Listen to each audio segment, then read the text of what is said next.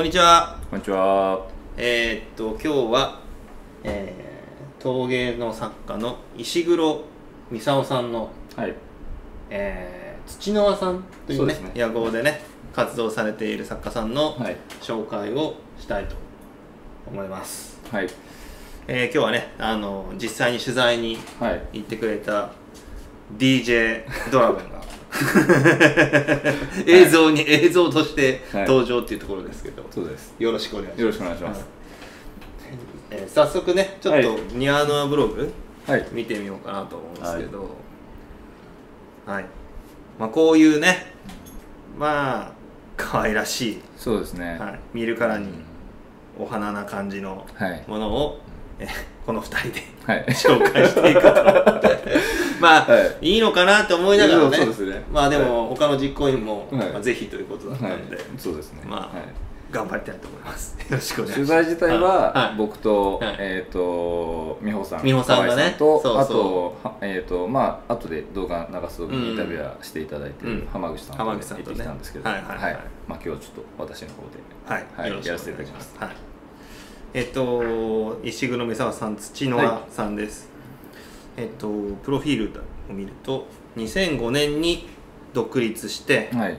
八千代市に。工房を開かれて、で庭の輪も12年14年と出ていただいて、はい。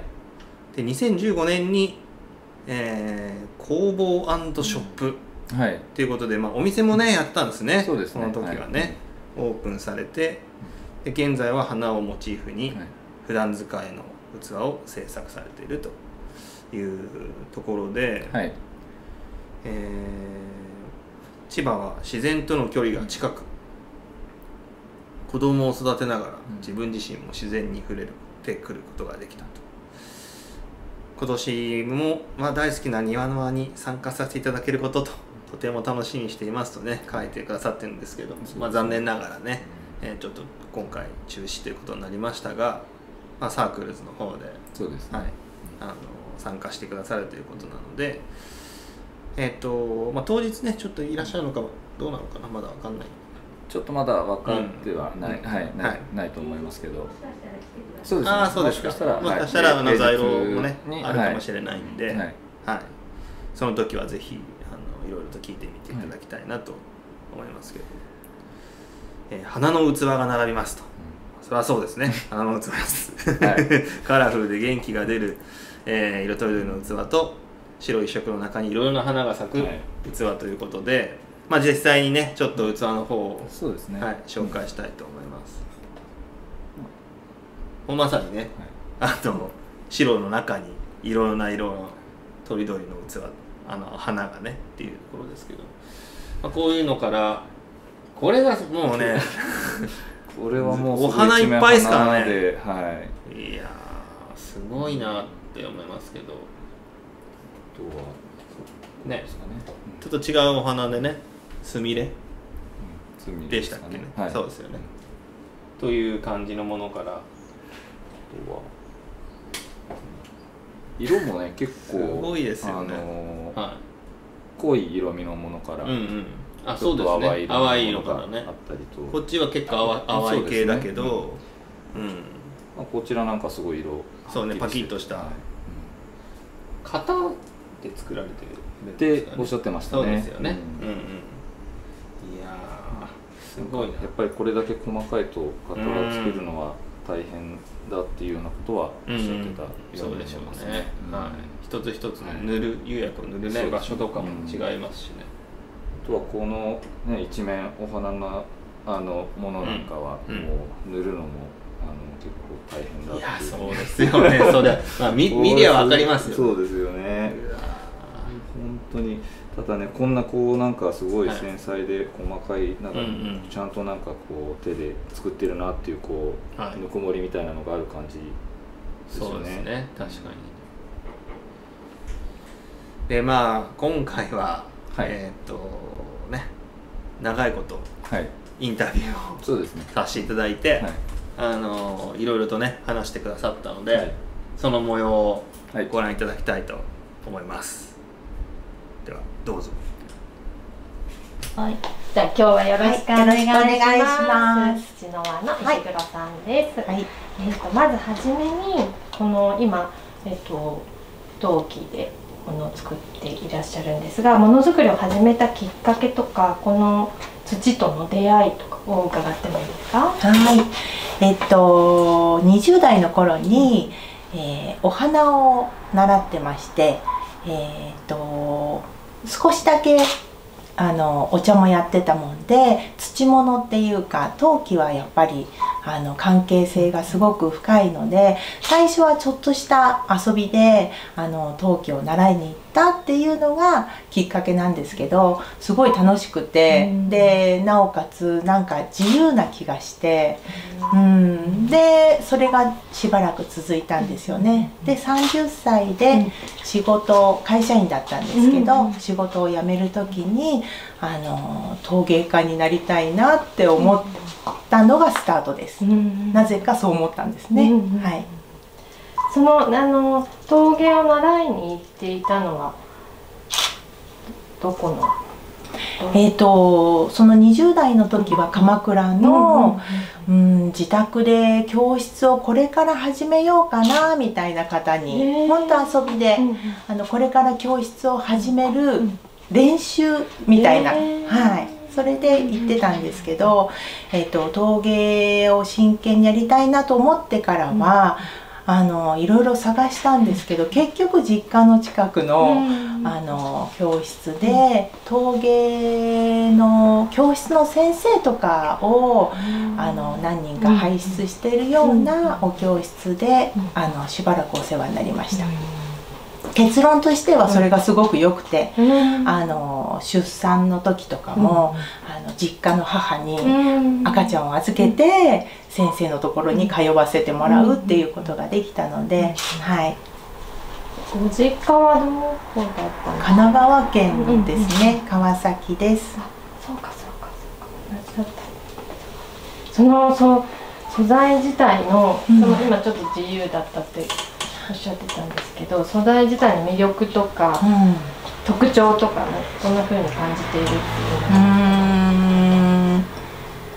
最初はもう出来上がってる土で作っているので、うん。柔らかいし、うん。作りやすいし、で食器じゃなくても、オブジェでもうん。何でもできるところが自由だなって思ったのがスタートだったと思うんですけど、まあやっていけばいろんな制約もあるし、あの難しいところはたくさん増えてうんうんるなとは思うんですけどうーん。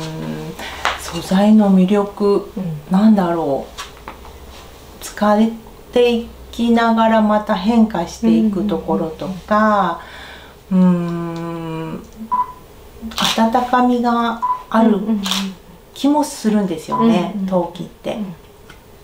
そういうところが好きかなと思います、はい。ありがとうございます。で、えっ、とご実家からここに越してきて窯を持ったって独立っていう感じ。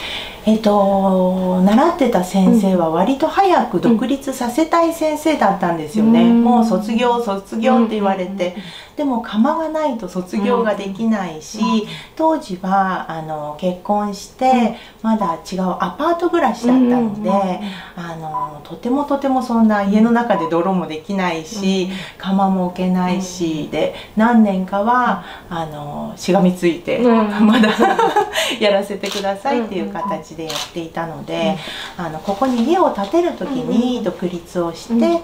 うんで窯も入れたかったので、あの子供預けて働いて、窯のお金を作ったりとかっていうので、のとあのお家の建設が同時進行してた感じですかね。で当初はここの工房がなかったので、自宅の一部屋をもうほんと7畳ぐらいの小さな、あのアトリエにして、あの教室も一緒に始めて、生徒さん一人から、うん。はい、始めました。じゃあここに越してきたのがうん。一応スタートはい。っていう感じで、独立はそうですね。何年前？それが2005年ぐらいだと思います、はい。そのここにしようとかそのじゃあこんな風なこの部屋にしてこの釜にしてとかその決めたここの決めた理由は？小学校に入るまでうん。秋田に住んでいたので、やっぱりこう子供を育てるならうん。少し自然が近いところがいいと思ったし、勝田台は歩いて行ける場所に田んぼもあったり、あの川もあったりして、あのそういうなんていうのかな自然と近い感じがするのがすごく気に入って選んだんですよね。で千葉は会社員時代に、あの勤務地でもあったので、うん。神奈川から通ってたんではなくて、千葉に住んで、あの仕事もしていたのでまあ親戚とかはないんですけど、うん。で結果良かったなと思ってます。うんうんうんうん。うん。そうですね。なんかその最初の頃その独立されて物を作ってでなんかご自宅での販売するはい。のとかをやっていたなと思はい、そうですね。そこら辺なんだろう。そのどういうふうに売売る売っていこうとか楽しんでいこうとか、うん。どういうふうになんかその頃進んできたか最初の頃。うーん。あの習ってた先生が、あの陶器のお店も一緒にやっていたので、えっと本当にアマチュアのうん。1年目からうん。アマチュア陶芸展って言って生徒さんたちの販売会をしてくださったので作ったものを販売するっていうことに対してはすごくハードルは低かったと思うんですよね。で勝田台に引っ越してきて独立してでじゃあどうやって販売していこうかなって思った時にあのーまあこの辺りにギャラリーもなかったし自宅のリビングを少しその1日か2日だけ開放してで意外と周りにものづくりが好きなお母さんたちがいらっしゃってあのいろいろ声をかけたらあのやってみたいっていうことでじゃあみんなでやってみるっていうところがスタートででそうすると意外と近所の人も、あのお会いしたこともなかったような方もお客様で来てくださって、でお店もあまりなかったので、すごく楽しいから、もっとやってっていうふうに言われて何年かはそういう形で、はい、自宅ショップやってました。そうでしたね。そう。でそれからするとなんか今はもうなんだろうこう軸足がすごい制作に移ってきたっていうか、うん、ここ何年かの変化としては。ねえっ、と2015年にこの小屋を建てて、で当初は半分お店にして、うんうん入り口に近い方をお店にして、奥をアトリエにして、でまあどうせ毎日作っているんだから、お店番しながら裏で作ってよっていう考えでやっていたんですけど、あのいろいろなその手作りでつながった作家さんのものもお預かりしたりして始めたんですが、まあ、大きかったのは、あの体調を崩してしまって。で急にどうしても入院しなきゃいけないっていうことが何度か重なるものだったので、そうなってくると、お店をやっていくのはちょっとできないなって思ったんですよね。うん。でその時にすごく考えて販売方法については、うん。できないこととできることを切り分けて、でできることだけで考えると、どうしてもネットで販売していくことがこれからはあの自分としては無理なくやっていけることなのかなと思って。えー、と4年ぐらい前ですね、うんその販売の方法を考え直したっていうところはですね、でなので、うん。販売はネット、でもずっとネットショップをやっていなくても、うんネットショップはいいじゃないですか、できる時にやって、で制作の方をもう本当に重視、うんうん。うんにして、メインにしてやっている感じですね。ううん。んそれでなんか売り方も変わるとなんか作品もだんだん変わってきたり。そうですね。実際にじゃあちょっと作品を見ながらと思うので、一旦じゃあ見ていいですか？はい。はい。というインタビューはい。だったですけど、はい。結構あのーなんだその時その時でやってることが違うっていうか今は結構制作だけどはいはい。とかっていうところもあって、はい。あの昔はショップもやってたそうですね。ねはい。そこがすごいなんか特徴的っていうか、うんそうですね。うん、どうなんですかね、うん。まあその半分がショップで、うん。うん。半分が制作エリアで、どういうか実際どういう感じでやるんですかね？もう本当お客さんが来たら裏から出てっていらっしますって感じですか、うん。多分そうだと思うんだどうなんですかね。実際こう作家さんとかだと、うん。そういう形態で自宅で販売してる方とかって多いんですかね。どうですかね。まあいなくはないと思うけどね。うんどうなのかな。あの自分の知り合いとかだと、はい。こうまあ陶芸家ではないんだけど、はい。こう例えば主婦のあの会社員やってたんだけど、おお子さんができたとかで、はい。一旦主婦になって、でその主婦の中で何やっていこうかなっていうところで例えばパンを作ってみたら、それがすごい周りから評判が良くて、はい。それからパン教室やって、はい。でさらにあのそれがどんどん発展して、はい。あの今はもうパンの大先生みたいな風になってる人とかもいたりとかするんですけどでもちょっと石黒さんはそういう感じではなくて、うん。最初から、はい。あの陶芸家になるんだっていうことははいもうなんかこう決めて、やってるんで、うん。だからそなんか個人的にはこう、はい。そういうしなんかもう真の強さっていうか、はいはいはい。そういうのをすごく感じたなっていう思いましたけどね。まあ、あとお話を伺った感じだと、うん。あのー自分のこうその時の、うんうん。えっ、となんていうんですかねその最初陶芸を始める段階だったり、うん。うんその途中その出産うん。のタイミングの話があったりとか、うんうんその時のこう自分の置かれてる状況によって、こう選択肢をこううん。選んで、うん。こう活動の仕方を変えてきてる感じはあるかなという気がして。うん。うん、そうですね、うん。まあまあ、そんな中でちょっと体調を崩されてしまううん。タイミングがあったということではあるんですけど、うん。まあそれで、えっと今はちょっとそのタイミングで大きく販売の仕方を、ね。まあ、ちょっと考えてっていううん。感じで、今はこうネットとかで販売を、えーする方向で考えてるとはおっしゃってましたけどこうでも近所の人からしたらねどうだったんだろうね。あの やっぱお,、ね、お店楽しくやったのかな そのねこそうですね。近所の人からしたらね、多分はい。楽しく、うん。いや貴重なお店がみたいな感じだったのかもしれない。まあ、うん。なんかお話でおっしゃってた感じでも、うん。周りの方からこう楽しいからもっとやってよみたいな話だったと思う そうですね。まあ、うん、まあちょっと残念に思ってる方はいるかもしれないですけどまあそれはもう致し方ないというかやむを得ないことというか。ね。まあいろいろやっぱこうねか状況によってこう最善のチョイスをされてるんじゃないかなと思うね。確かにそんな風な感じがしました、まあ、無理なく、うん。まあ、無理しちゃったからね。そうですね。多分ね。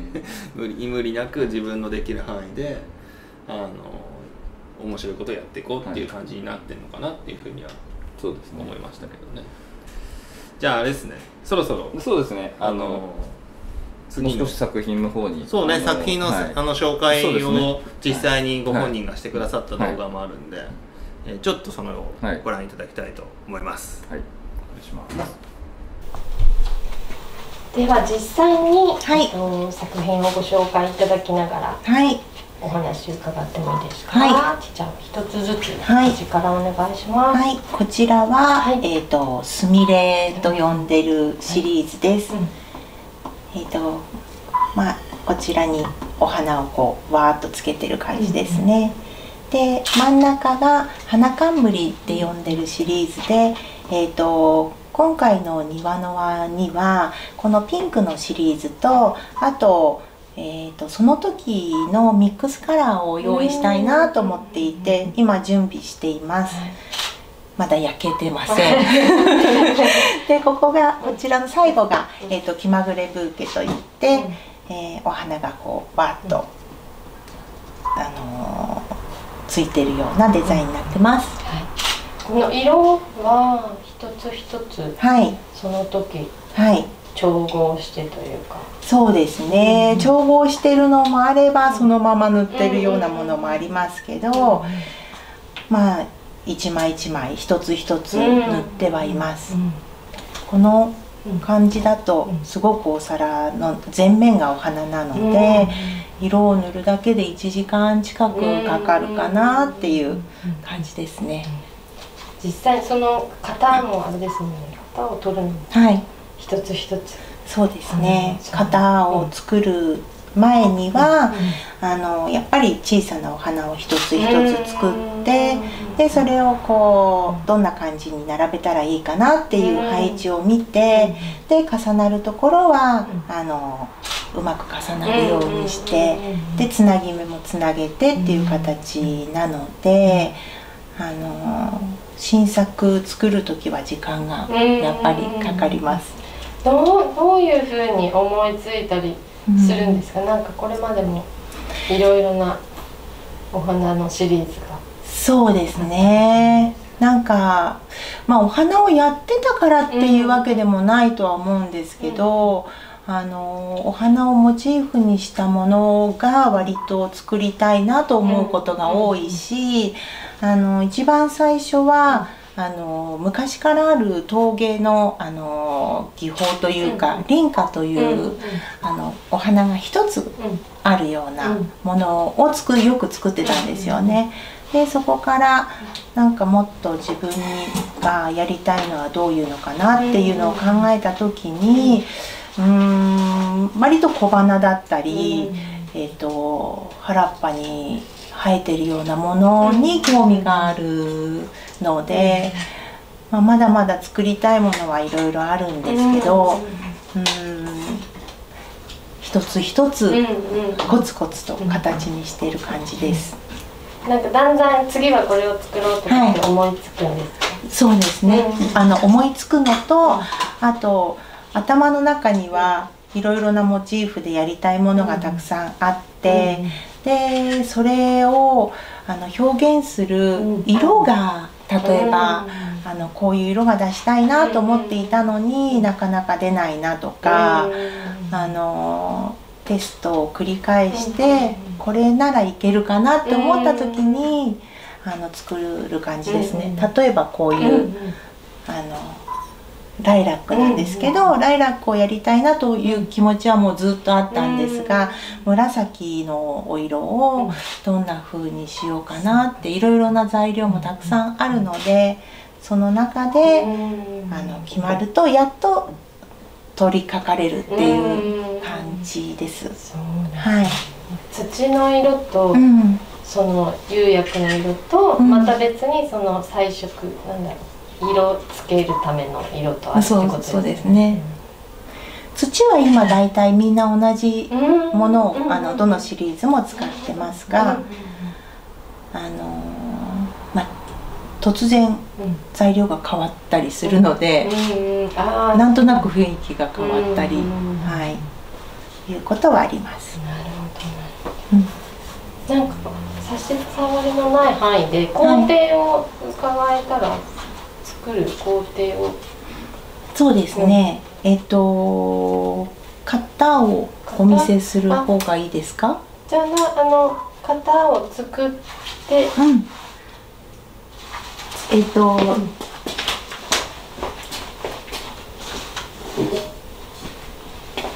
うんこれ乾燥させたところで、えっと型に粘土を押し当てて、で剥がした状態で乾燥させるんですけど、あのまあこれも完全に乾燥されていてでここで一旦あの低温で焼くんですね、でそうするとこんな感じで素焼きっていう状態なんですが、あの一度焼けたものに上がってくるのでここで色を私は塗ってでその後に、まあ、この辺りのあのシリーズだと透明の上薬をかけてでそしてこういう風になるっていう、はい、感じです。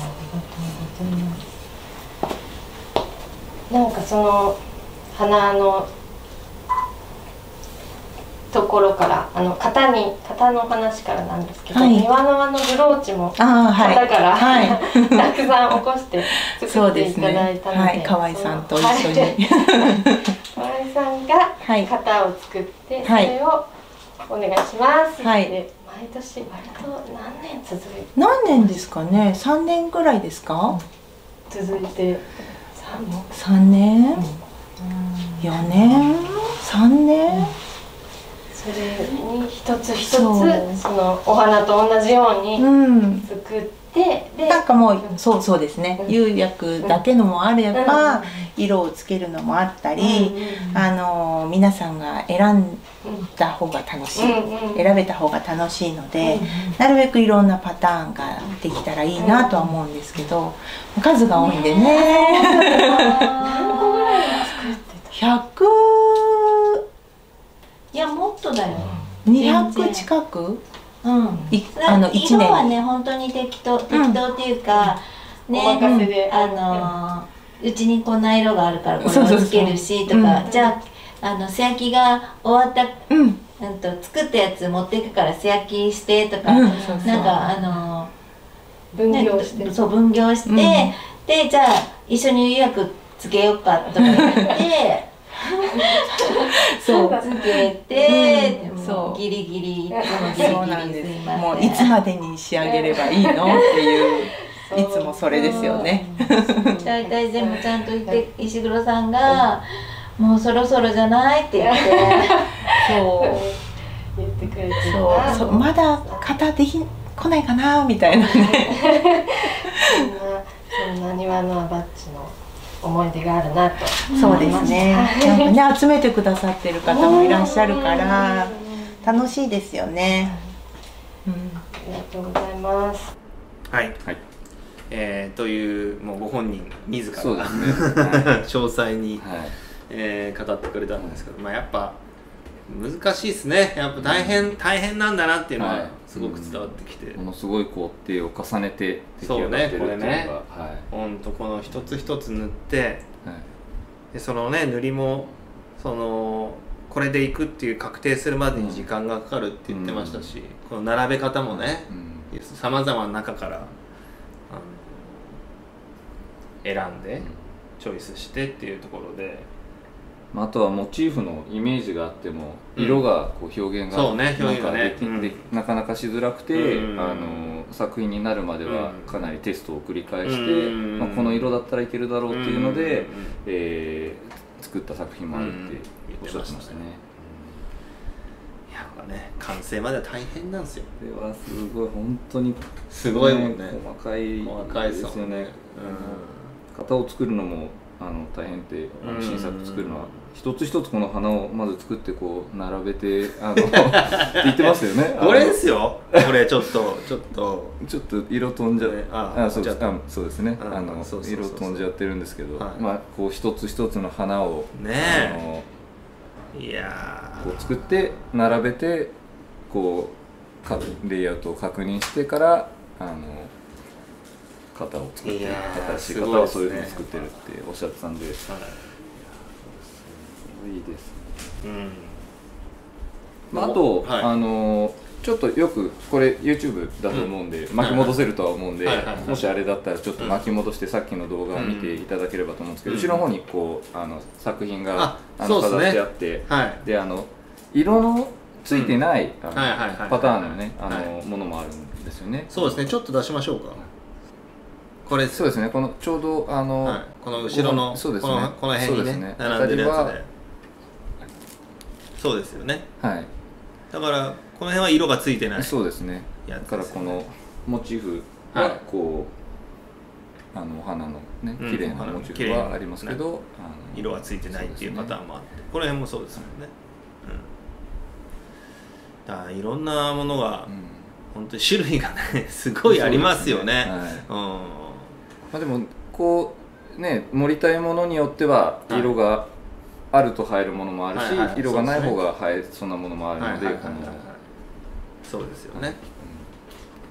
ただどどうなんですかね今回このちょっと色のないパターンのものが。来るかどうかちょっとちょっとね。そうですねそれはわかんないですけど。ねわかんないですけどうんはい。わかんないですけどね。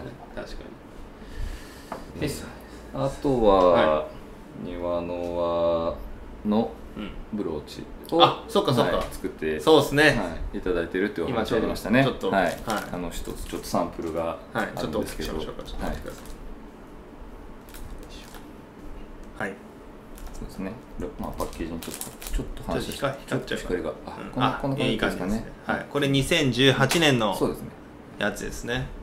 いつもありがとうございます。ありがとうございます。はい。はいえーね、僕は全種類持ってるのに今日持ってくのを忘れるっていうね。本当申し訳ない。申し訳ない僕もあの 一番最新のはい2010だから9かな？2019ね。9以外は持ってるんですけど、はい。あの持ってくるのを忘れる すいませんでした。2019手に入れなかったんですか？入らなかったです。あただあのちょっとこの取材行った時にうん。こぼれ話があったんですけど、なんか僕がそのちょうど19、うん。会場でうん。19の来ていただいた方は分かるかもしれないですけど、会場のインフォメーションのところで売ってるんですね、これ。うんそうですね。であの当日僕は他のところでうん。普通に作業とかがあるので、うん。あの戻ってきて、うん。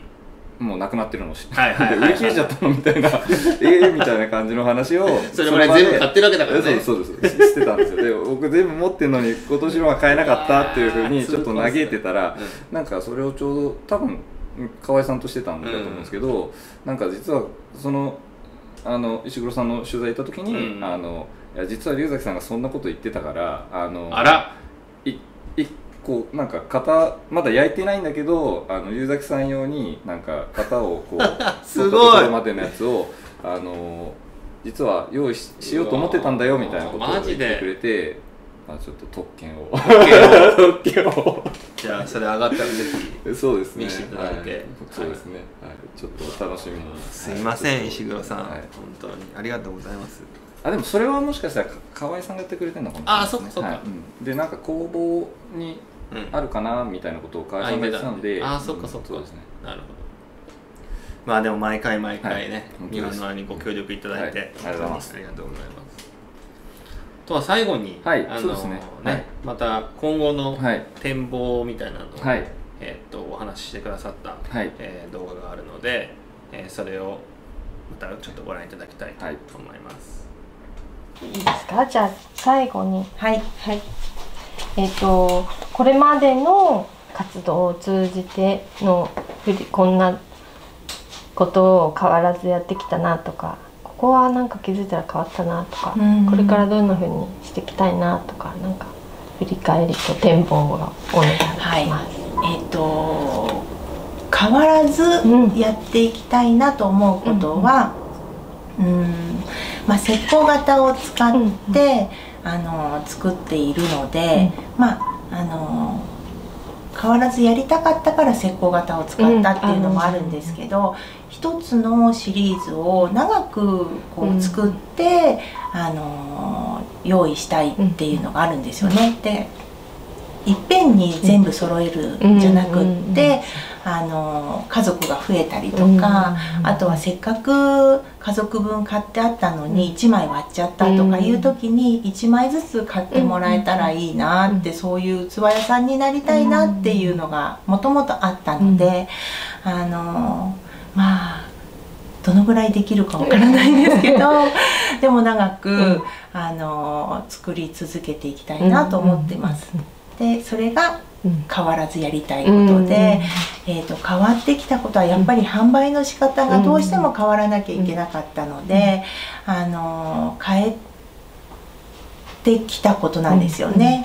で今ネットと、うん。あと器屋さんに収めたりっていうのがあるんですけど、そのネットっていうとやっぱり、うん。あの実際にお客様が見れないし、うん手に取って。うんでコミュニケーションもなかなか取りにくいので、あのすごく緊張するんですけど、うん。インスタの配信をうん。少し始めて、でやっぱり動画を撮って、器をこう見ていただくと、なんとなくあの写真だけではわからないところも、あのお伝えできるし、その時にコメントを入れていただいたりすると、やっぱりなんかこうコミュニケーションが少しは取れてるような気持ちになるので、そこもできる範囲でやっていきたいなとは思ってます。はい、ありがとうございます。最後に今回の、えっと、グループ展に向けてあのお客様に向けてでもいいですし、意気込みでもいいですし、はい何か一言お願いします。あの私にとっては、あの実際に手に取って見ていただける貴重なうん。機会だと思っているので、あのもしよければ、えー、とぜひ習志野までうん。足を運んでいただいて、手に取って、うん。あの実は一枚一枚表情も違うし、色の濃さだったり、あの違うので、あの見比べてうん。見ていただけたら嬉しいなと思ってます。はい、ありがとうございます。はいありがとうございます。どうでしたか？いやえーっともう動画でまとまってたと思いますけど。はいちょっとあ鼻水 が。はい。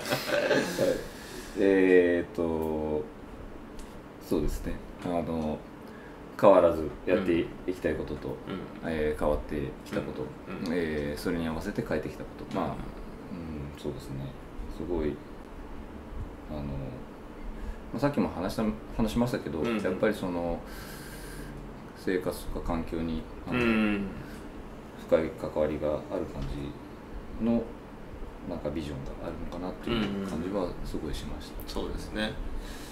あのー割れちゃった時に買い直せるようにはい。っておっしゃってましたね、ああいうところからもその石黒さんの、はい。なんていうか優しさみたいなところも、とあとやっぱりその芯の強さっていうかな、うん。芯があるなっていうのがやっぱりすごく僕は感じましたし、でまたねインスタグラムではい。配信そうですね。はい。多分ね、はい。撮影してはい。それをっていうのも始められてっていうところで、やっぱあのじ自身ご自身で最初はい教室から始まって、そしてあのあのなんか近所の方と一緒になって、うんやっぱ大変ではあったかもしれないけど、楽しかったと思うんですよね、はい。やっぱそういうその人とのうん。接点っていうのをやっぱりネット通販の時代もやっぱり欲しいっていうのがねね。うん。やっぱりそうだろうなと思うんですよね,、そうですね。うん。やっぱりそういうなんかつながった感じがあってこその、なんていうかものづくりっていうところもありますし、まあ、そこはすごくあお話を聞いて、個人的にはもうすごく共感したうん。ところだったなと思いましたね。そういったところで言うと、はい。えっと、ちょっとさっき動画を見てる時にうん。情報もらったんですけど、うん。えっと、次の7月の、はい。えっと、サークルスの時は、はい。えっと、7月3日の日は、うん。えっと、石黒さん、えっと、ウェブザイロっていうああなるほど。ちょっとウェブロザイロっていうとわからないかもしれないんですけど、うん。あのー当日その、まあ、アトリエかうん何かに石黒さんがいいらっしゃるところに、あのーサークルスのえー会場の方から、えーとまあ、タブレット端末なんかを使って、えー、とこうはいはいはいつ通話というかあの会話ができるってビデオチャットみたいなのができるようなえー、と仕組みを今回取り入れてるので、はい。えー、と7月3日はそういった形で、えー、ともしあの作品についてのお話を直接あのしたい人石黒さんに聞いてみたいとかっていう方がいればそういうようなこともできるようはない。準備をさせていただいてます。よろしくお願いします。あと,、はい。えー、と実際の在廊ももしかしたら、うん。えー、と平日土日月火って4日間やってるんですけど、うんうんうん。会期があるんですけど、まあ、平日の方の2日間はもしかしたらいらっしゃれてくださるタイミングがもしかしたらあるかもしれないうんないという話で。みたいですね。まあ、それはまたねあの庭のあの、はい。えーインスタグラムなり、はい。えー、そうですね。Facebook なりでそうですね。あのブログなりでね、はい。あの発表したいと思いますんでそこをぜひご注目いただければとはい思います。まああのね、ご本人もおっしゃってましたけど、はい。まあ、型で作ってるものだけど、うん。はい。色はね一枚一枚やっぱりはい。微妙にやっぱ違ってくるものなんで、はい。そこをね手に取ってあの見ていただきたいっていうふうにおっしゃってたんで、はい、まあ、ぜひ習志野まで。そうですね。はい。うん。このすごいすごいんですよ。本当に。本当にねすごいんで。まあそれがね本当もはい。うすごいんですよね。個人的にはこれとかも本当すごい色綺麗うん色綺麗ですよね。うん。確かにこれスミレですかね。うんすみれですね、うん、他にもねさあのいろんなものをモチーフにしたものがあの並ぶと思いますので、はい、何か言い残しはないですか？えっ、といや本当にでも最後におっしゃってたような、うんうん。えっ、と長く同じシリーズを作り続けたいから、うん。えーか石膏型を使ってるってうんいうのがすごい個人的にはやっぱり印象そうでしたね。でしたね。あのはい。結構やっぱ同じものをう同じクオリティとか、まあ、クうんオリティはもちろんやり続ければ上がってるところもあるでしょうけど、その同じものをやっぱ作り続けるってう結構やっぱ簡単じゃないんじゃないかなと思うんですよね。だからすごいなと思いました。んそうですはい。といったところで、はい。はい。ちょっとね時間になるので、ははい。いえーぜひ、えーはい。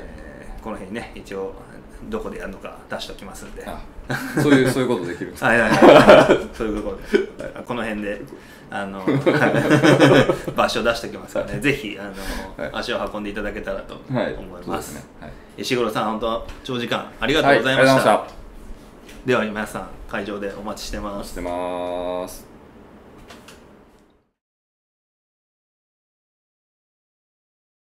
まあ、すちょっと話してなかったかもしれないですけど、うんうんうん一応ご自宅というか、まああのアトリエがあるのうんうんが勝田台うん、カスタダイね。駅はい。からまああのが一番多分近い駅なのかなと思うんですけど、うん。うんそうですね、うん、勝田台っていうと何か印象あります？近いんだけどね。そうですね。勝田台。四街道なんですけどね。はいはい。四街道が勝田台がね、はい。結構まあ近いんですけど、はなんかあんまりあんまり行かないから、うんはい。印象がう、ん。うん、あんまりなくって。はい。うん、だからあそうなんだ勝田台でやってるんだっていうのも今回初めて知ったっていうぐらいでそうそう。うん。まあ、僕もあんまりそうですね勝田台は行ったことないんですけど、うん。まあ、今回はその取材に行く前、うん。まあ、結構この取材行った日がなかなかのスケジュールであの 午前中今のラジオ撮って、ラジオ撮って。でそこのタイミングであの午後から、うん。まあ、取材っていう話でうん、で、まあ、行く途中に食事を取ろうよって話はいになったんで当初はなんかその一緒に行く浜口さんが、うんあのすごいおすすめしてるラーメン屋があってラーメン屋ね。はい、あのトクトクっていうラーメン屋なんですけど、はいそこ行きたいなって、うん。もうなんかすごいすごいおすすめしてしてくれるんですよ、でうん結構前から聞いてたのではいはい。あ今回行くチャンスかなと思って、であのラジオもう収録終わって、はい。えー録音切った後に、うん。河合さんあのトクトク行こうかなみたいな話をして、あの食べに行こうとしたんですけど、はいはいはい。あのじゃあちょっと浜口さんに聞いてみるよみたいな,、うん。なんかその混んでるのかとか、はいはいはいはい。あのそのまま普通に行って食べれるのかとか、うんうんそしたらあ「じゃあお願いします」って言ってあとはじゃああの SNS でやり取りしましょうみたいな話をしてたら、はいはい。なんかかあの河合さんから「うん。大変」みたいな。大変。川口あ浜口さんもトクトクに向かってるみたいな。メッセンジャーが来て、えでただなんかすごいやっぱ人気のあるお店みたいであの待たないと入れないっていうことみたいなのでちょっとむず時間的にそうね取材までそうね時間ないからの時間。うん。集まって、うん。昼食の時間取れるの1時間おまあ取れても1時間かなぐらいな感じだったんで、まあじゃあもう別々でやりましょうか取りましょうかはいはいはいはい。みたいな感じで、えー、とちょっとそこは諦めたんですけどで僕はあの庭に庭の輪にも、うん。あの出店してくださってる、はいはい。あの南インド料理。花さんね。花さん。うん花さんね。美味しいからね。美味しかったです。花さんはもう美味しいですから。うん。実実は僕その初めて行ったんですよ。あ本当？はい。あそっか。うん。まあ美味しかったです。そうか。石黒さんは花さんについては何も言ってなかっああ食べてきましたとは言いましたけどあでもまあなんかすごい美味しいとかそういう話にはなりまあ本当？あやっぱ知ってんのかすどんな話になるんですかね？逆に、ないやいやいや。ねえ。うん。勝田台ね僕らもあんまり知らないからうん。本当おすすめを聞けばよ。はいそう。花さんはでも本当美味しかったですね。そうね。ん。そう。なんかでも南インド料理っていうんですかね、はいはい。あの僕もそんなに頻繁に食べてるわけじゃないんで。食べる時にちょっといろいろ迷いが。迷いが。いろいろある。そうですね。いろいろあるどういうあのあのすごい丁寧に説明してくださるんで、花さん自体がね。あの分かりますかみたいな感じで聞いてくださりますし、あのあそうなんだと思いながらただなんかこうこういうふうに食べまあどうなんですかね。あれ結構自分の好きなように食べればいい。んですかねそうそうそう。あの全なな何気に全部混ぜるのが一番うまかったりするんで、そうですよね。そうそうそうもそう。でもなんかこう美味しいんですよ。で、はいはい。こうなんかただこうそういう経験値がないんで、はいこんな混ぜちゃって大丈夫なのかなとか。なんかこの人なんかすごい混ぜてるけどみたいな感じいやいやもうそれはもう混ぜた方が美味しい。あ本当ですか。そうそうそう。えなんか順番とかあるんですか。混ぜる順番いや多分吉田さん、まあ、シェフは、うん。あの好きにどうぞっていうと思いますけどね。多分ね。まあもう好きなように食べてきました、はい。まあ本当に。まあぜひねカツサダに行ったら、はい。花さんもおすすめですけど。そうですね。はい。あとは、うん。なんか河合さんは別で、うん。なんかあの駅の近くのうん。町中華のところで、あそうなんだ、町中華のところで昼飯食ったって言ってたんですけど、うんうん。あのなんかそこ河合さんもそこ初めて行ったらしいんですよね。あはい。でなんか「どうでした?」って聞いたら、なんか初めて行ったんだけど、うん。なんか頼むメニューを間違ったかなみたいなこと言ってて。何だろう。でなんかあの普通ねやっぱ初めて行ったところだと、うんあの左上の法則あの食券機で言うと左上の法則って 左上の法則？一番スタンダードなアイテムを頼んだりするのが普通なのかなと思うんですけどなるほどなるほなんか河合さん偶然こう貼ってあった目についた、はい。えっ、とねなんだっけなトムヤムクンメンって言ってたかな 絶対にこうあの初回で頼まないやつ。そうです。ね味味を測るにはちょっと測りづらいあのものを頼ん頼んだ頼んじゃったみたいなこと言ってて。その話をねなんかその後の石石黒さんのところの取材でも話してたし、うんえー、とこの前のサークルスの時にも話してたし、まあ、結構あの強く後悔してる。のかなっていう気は。後悔してるって話でね。後悔してるか分かんないですけどあの、まあ、ちょっとその部分を強調されてましたね。まあ美穂さんはね、はい。まあ、ああいう人なんで、はい。まあ多分何も考えずに目についたものを頼んだんだと思うんですけど、まあ直感勝負直ですよね。感勝負でね。頼んだと思うんですけど。まあちょっとそろそろ学習していただきたいですけどね。本当に、はい、あの学習してください本当に、お願いします。はい。はい、ちょっとねあの話題が全然スーパーカスタダイになりましたけど、はい、そうですね、はい。まあただなんかあの本当にそのなんていうんですかねこう日々のうん。こういう、あの制作の活動と生活が本当に密接してる、うん。その時の環境とかによって、えっ、とまあこうやり方が変わったりとかはいまあその活動代についてもまあその子育てにしてるタイミングでこう自然との距離が、うん。あの近くて歩うん。いてちょっと歩けば田んぼがあるところがいいとうんかって言ってた、うん。で本人もた、えー、とちょっとインタビューで言ってたかその資料に載ってたのかわかんないんですけど、うん。あの資料に載ってますかね。うん。えっ、と自分の、えー、と作家としてあ違うな。千葉の自然との距離感が好き好きでこの地を選んだっていうのが書いてあってうんまあ改めて考えると、まあ、その環境面が、まあ、子どもの成長とか自分の制作に大きく関わって、うんうんえーいるなと思ってるっていうふうに書いてあるんで、まあ、でも本当に話を伺った感じは、うん。まあ、そういう感じが本当にしましたね。まあ、生活生活っすよね、はい。だからいい生活の中に自分の制作があるっていう感じだよね、うんだからそういうそやっぱ庭の輪に出る素敵な作家さんははい。そういう人が多いですよね、そうですね。そういううん。あの印象が本当に強かったですね。そうか勝田台ってた多分ですけど、はい。勝田台とかも、まあ、四街道もね、はい。似たような感じのところだと思うんですよ、あんまりこういい印象を持ってない人も 多いかなと思うんですよ。あの何もないみたいなね。まああーでも確かに。そうそうそう。